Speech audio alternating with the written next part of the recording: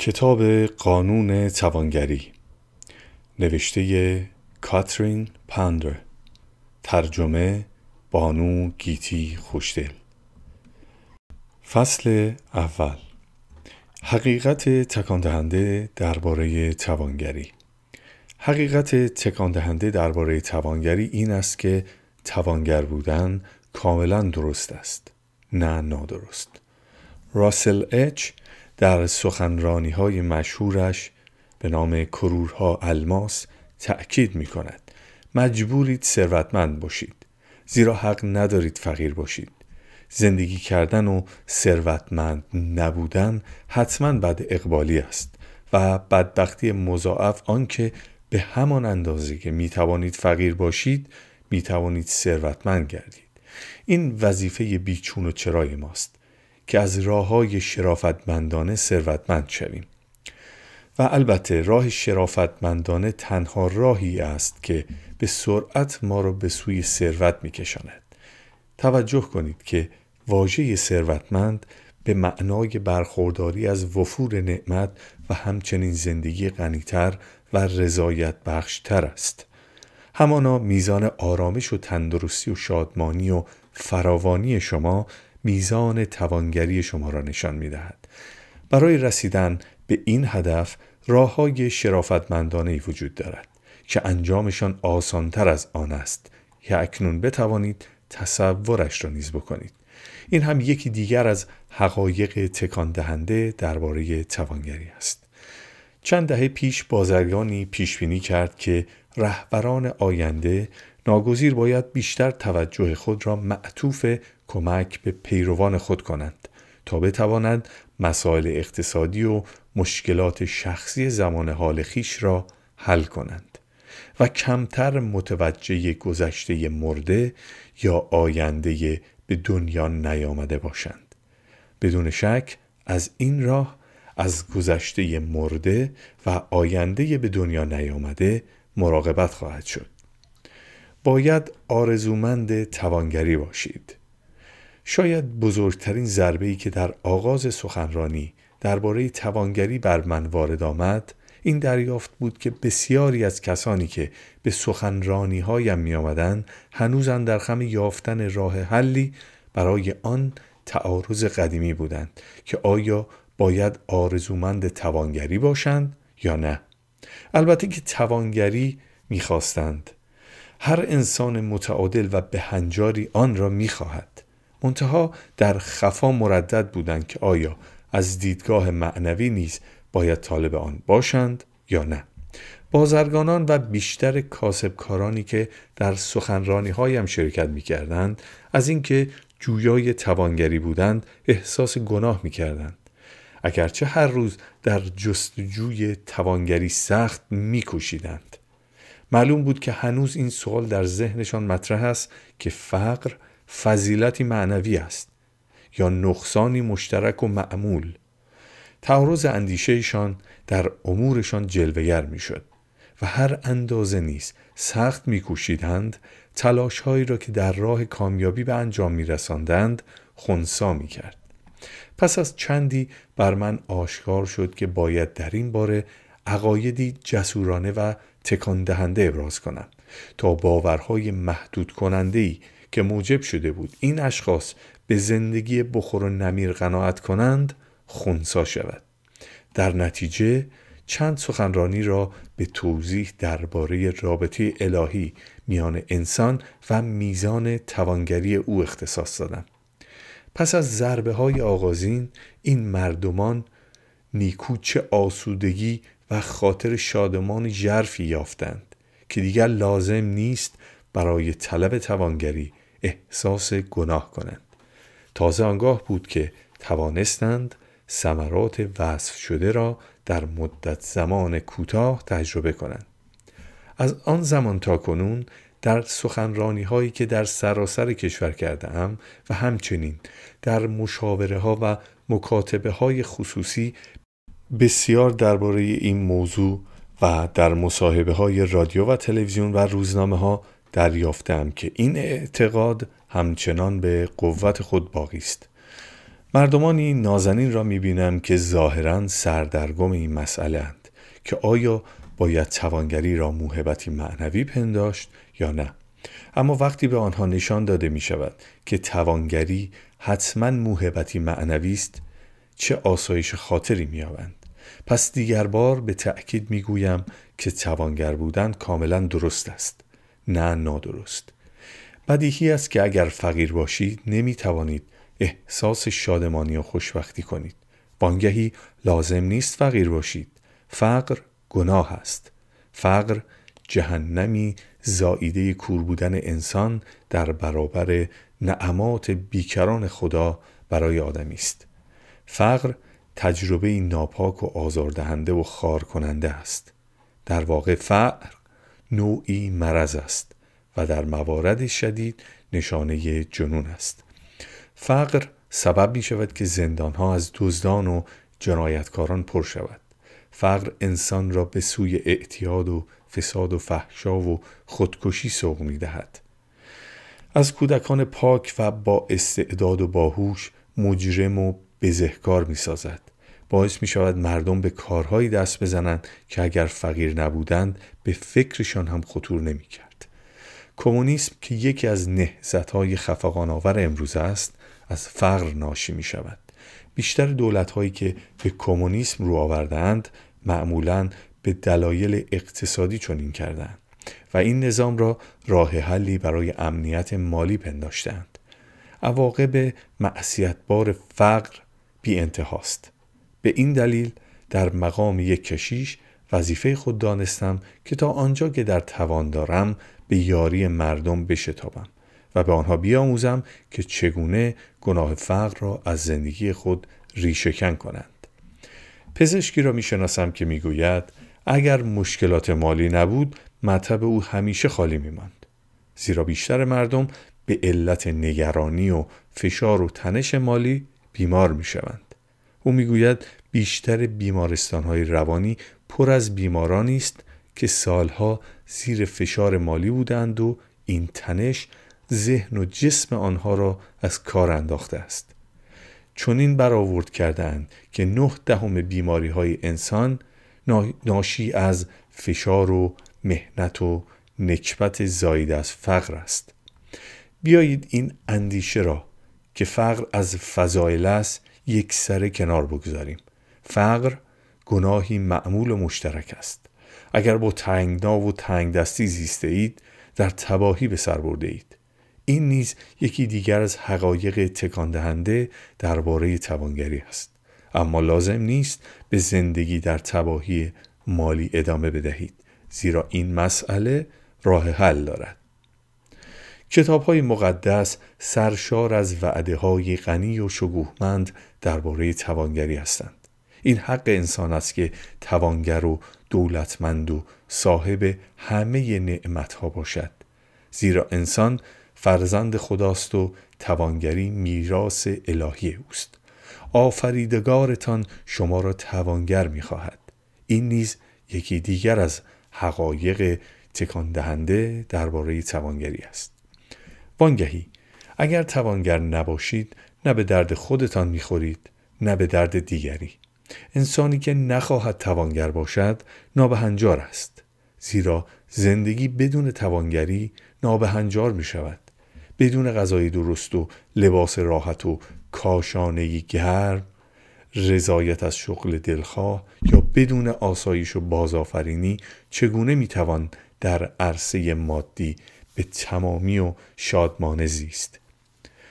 اگر زندگی انسان در عرصه ذهنی آری از فعالیت خلاق باشد بدون کتاب یا بدون فرصت برای کامجویی از دانش و فرهنگ بدون لذت از موسیقی و هنر بدون پول یا مجالی برای سفر و سایر فعالیت های فرهنگی مشابه زندگی ذهنی او نیز ناقص میماند. اگر آدمی در عرصه معنوی فرصتی برای تفکر مراقبه و مکاشفه و دعا و مطالعات معنوی نداشته باشد در این عرصه به کمال نمی رسد حالان که توانگری در هر سه عرصه مادی و ذهنی و معنوی برای کمال انسان ضرورت دارد هیچ عذر و بهانه ای را برای کنار آمدن با تنگ دستی یا پذیرفتن آن به صورت وضعیتی دائمی قبول نکنید. صرفا به این دلیل که می توانید کارهای نیک بسیار به انجام برسانید نخواهید که توانگر شوید. دلیل اصلی این که می‌خواهید توانگر باشید این است که باید توانگر باشید. از آنجا که پسر پادشاه یا فرزند خدا هستید توانگری حق مسلم شما و میراث الهی شماست دلیلی ندارد که توانگری را از زندگی معنوی خود جدا بدانید لازم نیست در دو عالم زندگی کنید شش روز هفته را بدوید و روز هفتم به خدا فرصت بدهید تا نشانتان دهد که چه می تواند بکند. هر روز هفته و هر لحظه خدا را به چشم پدری دولتمند و پرمهر بنگرید که وضع شما را می‌فهمد و احساسهایتان را درک می کند و نسبت به همه امور شما علاقمند است و مراقب جز جز زندگی شماست. درباره همه کارهایتان. خواه امور مالی خواه سایر امور هدایت او را جویا شوید و فرمان الهی او را بطلبید. آنگاه از بهبود دلپذیر همه جنبه های زندگیتان به شگفت خواهید آمد وعده الهی این است. همه چیز از آن شماست. روانکاوی اخیرا به من گفت که دریافته است که علت عمده شکست های مردم تعارض درونی آنها درباره این مسئله است که آیا موفقیت از نظر الهی مقدر است یا ملعون. بسیاری از بیمارانش مدعی هستند که شکست از نظر معنوی بیش از موفقیت مقبول و مورد تایید است. از این لحظه به بعد برای توانگر بودن به هیچ عذر و بهانه نیاز ندارید. توانگری آرزوی الهی است که باید به گونه الهی تجلی یابد. می توانید جسورانه سپاس بگذارید که توانگری میراث الهی شماست. خواست خداوند برای شما نیکویی نامحدود و موهبتهای بیکران است. نه یک زندگی بخور و نمیر. اکنون برای پایدار ساختن این گرایش توانگرانه در ذهن خود که خدا به عنوان آفریننده این عالم غنی منشأ برکت آدمی است و از این رو اراده خدا برای شما ثروت این عالم است پیشنهاد می کنم کلامی را که خداوند به موسی گفت به خود بگویید. خدای خود را به یاد می آورم زیرا اوست که به من قوت می دهد تا توانگری پیدا نمایم. شاید فکر کنید آیا این نوع طرز تفکر عملی است؟ آیا چنین گرایشی موجب می شود که کفش به پای بچه برود و غذا بر سر سفره بیاید و اجاره خانه پرداخت شود؟ البته که چنین است. اخیرا با زنی صحبت می کردم که گویی همه چیز بر ضد او بود. به محض اینکه فلج شد شوهر الکلی قمارباز بیکارش او را ترک کرد و چند بچه را روی دستش گذاشت و رفت. اگرچه سقفی بالای سر داشت اما خانه در رهن بود و هرچند ورقه دادگاه در دستش بود که شوهرش باید خرجی ماهانه برای بچه ها بپردازد اما این پول اندک که کفاف مخارج آنها را نمی‌داد. با اینها هرگاه به دیدار این زن می‌رفتم که ماها بستری بود و اخیرا کارش به صندلی چرخدار نیز کشیده شده بود همواره با ذوق و شوق از راه های تازه برکت و روزی که به روی او گشوده بود سخن می‌گفتم. در یکی از دیدارها گفت آنقدر قوطی کنسرو و غذاهای مختلف هدیه گرفته است که تا چند ماه دوام خواهد داشت در دیداری دیگر گفت که خیشاوندی از یکی از ایالتها برای بچه هایش مقدار زیادی لباس فرستاده است. مخارج درمانیش را نیز دوستی پرداختی که مقیم خارج از کشور است. به راستی که همه نیازهای مالیش برآورده شده بود. حتی برایش مقداری رنگ رسیده بود. و یکی از همسایه ها سرگرم رنگ کردن دیوارهای بیرونی خانهش بود. وقتی راز توانگریش را پرسیدم و گفتم تو که نه درآمد ثابتی داری و نه پسندازی چگونه توانستی همه قبض ها و صورت حساب ها را به موقع بپردازی؟ حالان که نمی توانی راه بروی و در صندلی چرخدار نشسته ای گفت که دعایی منشأ قدرت و رزق و روزی او بوده است. هرگاه نیازی مالی نزدیک می شد او بارها این دعا را در دل تکرار می کرد و آرام به آن می اندیشید. این دعا مزمور چهل و ششم است که می‌گوید باز ایستید و بدانید که من خدا هستم. روزی که موعد پرداخت قسط خانه بود میبایست چهل دلار بپردازد. حالان که یک سنت هم نداشت. پس به آرامی به این عبارت اندیشید که باز به ایست و بدان که من خدا هستم. باز به ایست و بدان که من خداوند در این وضعیت سرگرم کار هستم. نزدیک ظهر بود که دید لبریز از آرامش. ابدا دلنگران این وضع نیست. ساعتی بعد که مراقبه یک ساعتش با پایان رسید خیشاوندی برای غذا دادن به او به خانه اش آمد. در حال صرف نهار بود که همسایه داخل اتاق شد و در حالی که پولی را به دستش می‌داد گفت کلاس روز یک شنبه ما تمام مدت به یاد تو بود. دیدیم در خزانه بیش از مخارج لازم پول داریم. تصمیم گرفتیم این برکت را با تو تقسیم کنیم. پولی که به زن داده شد چهل دلار بود. چون این زن خدا را منشأ رزق و روزی خود می‌دانست. توانست این حقیقت را به اثبات برساند که این منشأ حتی در شدیدترین وضعیت در بیماری و و مشکلات زناشویی ناامنی مالی هیچگاه موجب شکست و سرفکندگی انسان نمی شود. البته آرزوی بزرگش این بود که بتواند در کمال استقلال مالی روی پای خود بیستد و از هدایای خیشاوندان و همسایگان و دوستان نیز بینیاز باشد از آنجا که این زن در توانگرانه اندیشیدن استقرار یافته است بی تردید به خواسته های خود خواهد رسید اکنون پس از سالها شروع به راه رفتن کرده است. حتما چندین نخواهد گذشت که سر کار نیز خواهد رفت. از همه مهمتر این است که لحظه به لحظه این حقیقت را به اثبات میرساند که شرایط زندگی هر اندازه نیز دشوار باشد روزی غنی خدا می تواند از راههایی پیش بینی نشده به سراغ انسان بیاید. خانمی خاندار برای پرداخت دو صورت حساب که میبایست تا پایان هفته می پرداخت به 100 دلار نیاز داشت. اوایل هفته هرگاه این ترس به دلش راه میافت که چگونه باید آن دو صورت حساب را بپردازد بیدرنگ در دل خود تکرار می‌کرد خداوند شبان من است محتاج به هیچ چیز نخواهم بود جمعه صبح که میباید صورت حساب را بپردازد در میان نامه های رسیده چکی به مبلغ 110 دلار یافت. چک از طرف شرکتی بود که چند سال پیش شوهرش برای آنها کار کرده بود. نامه ای نیز همراه بود که می‌گفت در حساب همسرش این مبلغ را یافته اند و چون می‌خواهند این حساب را ببندند این چک را برای آنها میفرستند.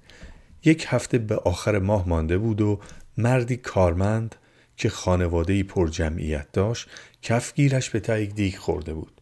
خاروبار موجود در خانه نیز ته کشیده بود. جمعه همسرش به او گوش زد کرد که دیگر چیزی در بساد ندارند و فردا صبح که شنبه است روز خرید آنهاست هر دو بران شدند که برای طلب روزی به خدا چشم دوزند و از او هدایت بخواهند. پس بیوقفه تکرار کردند. کفایت ما از خداست. شنبه صبح از اداره مالیات بر درآمد نامه همراه با چکی به مبلغ 60 دلار برایشان رسید.